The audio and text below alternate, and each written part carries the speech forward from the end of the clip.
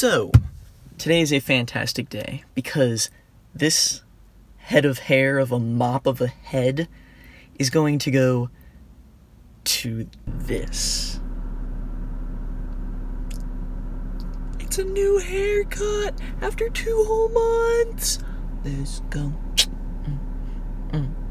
So, I just wanted to keep everybody updated on my video output on YouTube. Um, so recently, well, like the past week, I ran out of storage, which has been just fantastic. I ran out of storage on my computer, so I haven't been able to edit anything, and that's why chapter 2, part 2 is late. But, anyways, when I wasn't able to edit those videos, I really felt like I like hit hit a wall. A wall. A wall. A wall. A wall. A wall. And not being able to like work on something that you enjoy and that you're passionate about can really like it messed me up. And I was like I felt lost. I was like watching Netflix some nights and then in the mornings I was just like watching YouTube, like not knowing really what to do next. But finally, now that I have an external hard drive and I can finally get back to editing my videos, I just I feel like a new person. I feel so good. And so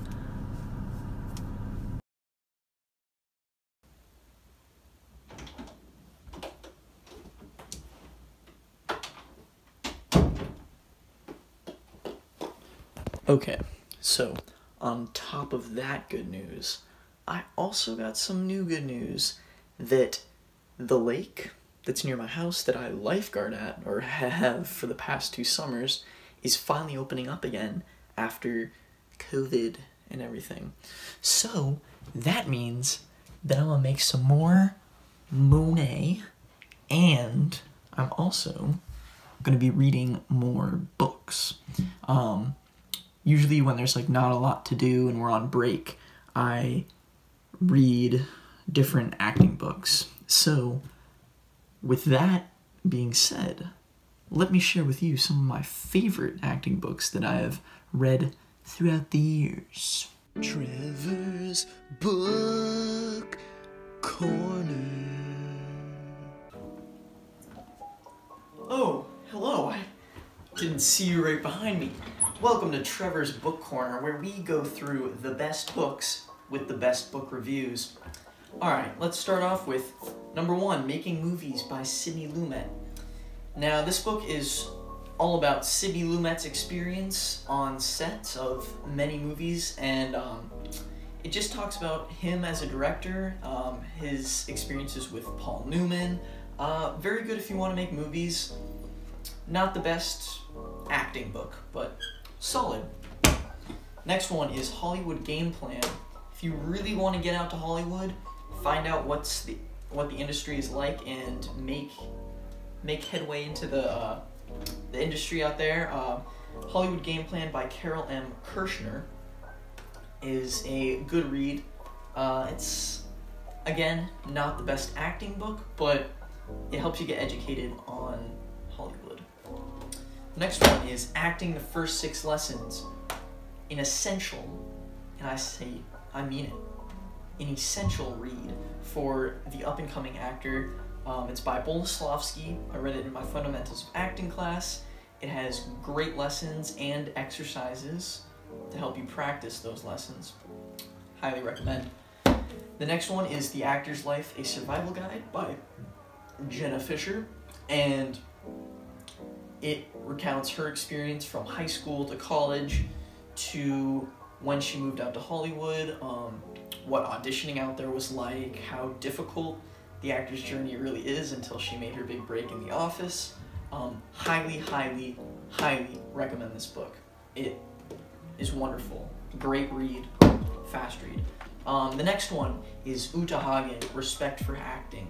Uh, this is the first of her two books. She probably has a ton of other books, but I just know this book and then the other book that she came out with. Anyways, this is a very dense read, very complex. Um, this is actually going to be my summer book. I started it last summer before I took any acting classes in college, and I it was really above my head, really complex. But um, I'd say take a class for acting and come back to this book, and a lot of the terminology and just the way she writes will be more understanding. Um, so, yeah. Thank you for listening to my book review. I hope you enjoyed, and I'll see you in the next one.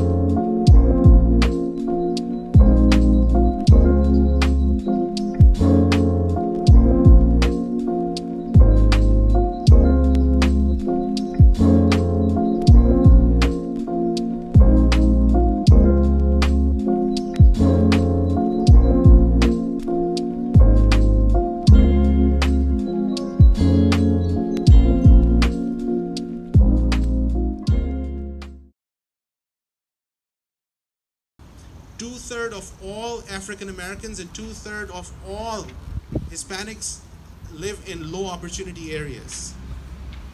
And the chances of moving from a low opportunity area to a high opportunity area is the lowest in New England in the state of Connecticut. If you're born in poverty, you will die in poverty. Everyone has stereotypes and but where are you getting these from? Do you think that um, everything you see on the news or a movie, that's how a black person is? It's, it's not true. And you have to open your mind to be able to see that. Uh, and again, thank you, everybody. I challenge us all as white people, those of us who are, to deeply examine and acknowledge the prejudices and stereotypes that infiltrate our worldview as an overt or subconscious level. As we grow and develop from childhood and establish our worldview, we make judgments about our world based on what we're taught, what we observe in our family, and our personal experiences. And, and to be honest with you, the police brutality thing, that doesn't happen here. It doesn't. But it happens all over America. And if we don't stand up for it here, even when it's not happening, it's going to keep happening. So you need to wake up, and you need to wake up the people next to you, and say, look, we all just got to get along. What we need to be saying is, I see you. I will stand up with you. I will stand up for you. And I will fight alongside of you for what needs to happen.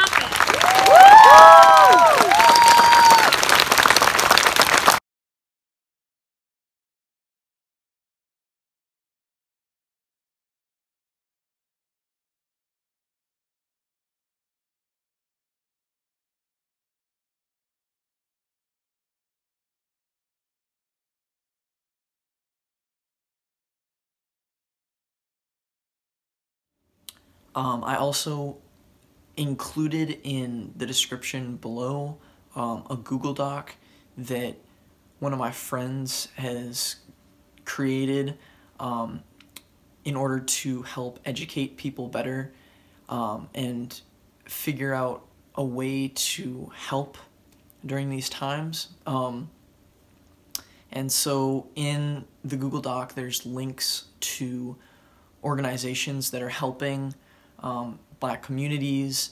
There's links to Netflix shows, HBO shows, um, websites that all helped me better educate myself on what systematic racism is and how it's been impacting black people that have been living in the US. There's also um, links in the Google Doc for donations um, for different like organizations that you can help donate to. Um, so thank you. Thank you for watching.